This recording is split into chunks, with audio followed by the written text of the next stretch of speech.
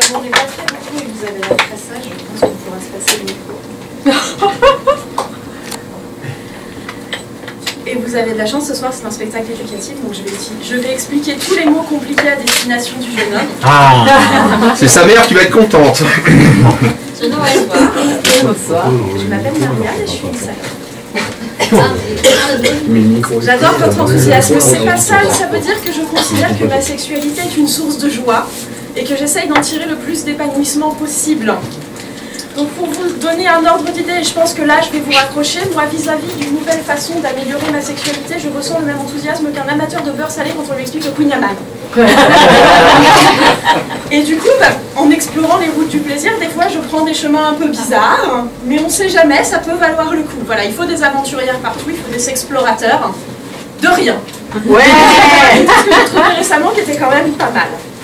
Donc en ce moment, je me suis un peu intéressée à l'aspect euh, énergétique de la sexualité. Là, ça a l'air chiant. En allant explorer les routes du tantra, là, ça a toujours l'air chiant, je sais. Et un truc qui est très très en vogue dans la communauté tantra en ce moment, c'est ce qu'on appelle les œufs yoni. Donc c'est un, un, œuf en pierre semi-précieuse qu'on s'insère dans le yoni. Ça, c'est le vagin. Et euh, pour le maintenir en place, ensuite, il faut contracter son périnée, un petit peu comme on le fait dans le cas des exercices de Kegel. Les exercices de Kegel, quelqu'un est au courant? Non. Les exercices de Kegel sont des exercices qui sont conseillés aux jeunes mamans, peu de temps après un accouchement par voix basse. C'est encore par la chatte.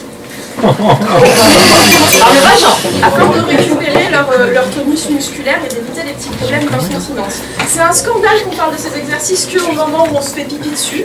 Parce qu'en fait, si vous les pratiquez toute votre vie, vous pouvez apparemment ouvrir des potentialités de ouf malade que je voulais pour moi. C'est-à-dire que, en tonifiant régulièrement la zone, vous augmentez l'afflux sanguin, vous augmentez la sensibilité, vous facilitez la lubrification et vous êtes capable de serrer un objet avec votre dedans. C'est-à-dire que vous faites à monsieur le grand vide du plaisir et vous, vous pouvez être à vous. C'est un petit peu. Euh, moi, j'ai adoré. Donc la promesse, c'est quand même une chatte magique et super puissante. Franchement, qui dit non. Une énergie sexuelle au top top, le sentiment de sexiness bien capé aussi, la réussite aux examens, les dents blanches, la réussite pacifiquement. Vraiment, vous pouvez tout faire en travaillant avec un œuf de yoni. Et moi, j'ai plusieurs problèmes. Donc, je me suis dit, on va tous les adresser en un coup. J'en ai commandé un. J'ai attendu son arrivée avec impatience. J'ai lu le PDF qui allait avec pour apprendre comment on s'en sert. On croit que c'est simple, non. Je vous avoue, quand je suis tombée sur la section de la doc qui disait qu'il me conseillait 30 minutes pour accueillir pour la première fois l'œuf dans ma grotte sacrée, je me suis un peu demandé si j'étais toujours au bon endroit, c'est toujours ma chatte. J'ai persisté, et après une petite série d'exercices sur le lit où je devais m'entraîner à faire remonter l'œuf, à le relâcher, et à faire remonter l'œuf et à le relâcher, je me suis dit je suis prête pour la phase 2 de l'exercice, le garder pour vaquer à ses occupations dans la maison. Alors l'aspirateur, ça passe. Franchement, ça passe. Faire la lessive, remplir la machine, j'ai eu des petites frayeurs, mais ça passe. Étrangement, le plus compliqué, ça a été la vaisselle. Et ce moment où un objet m'a échappé des mains, que j'ai... Plop. Je vais pas vous donner plus de détails. Tout le monde a compris plop? Oui, Et je... C'est là qu'on développe... Euh, moi, je, suis un peu une gameuse, j'ai un peu le sens du défi. Je me suis dit, je vais essayer de me tirer de cette euh, situation toujours sans erreur. j'ai inventé un déhanché qui n'appartient qu'à moi, qui fait un peu penser à la grande joie de la nana qui a été remise le jour où elle portait un tampax. Et j'ai réussi à rétablir la situation. Bravo. Merci, merci. Ah merci. Fierte de mon expérience, c'est sûr que je pouvais euh, récupérer l'objet en cas de problème. J'ai attaqué euh, les, sorties. J'ai le métro, un rendez-vous chez le dentiste, ça passait bien. Des, fois, je, me disais mais euh, j'ai découvert au fil des semaines et de mon entraînement que finalement, il suffisait de, s'asseoir et de sourire bêtement pendant trois secondes pour, pour récupérer l'objet de, mon désir. J'étais assez fière de moi, je dois dire. Et... c'était la soirée de Noël de ma boîte.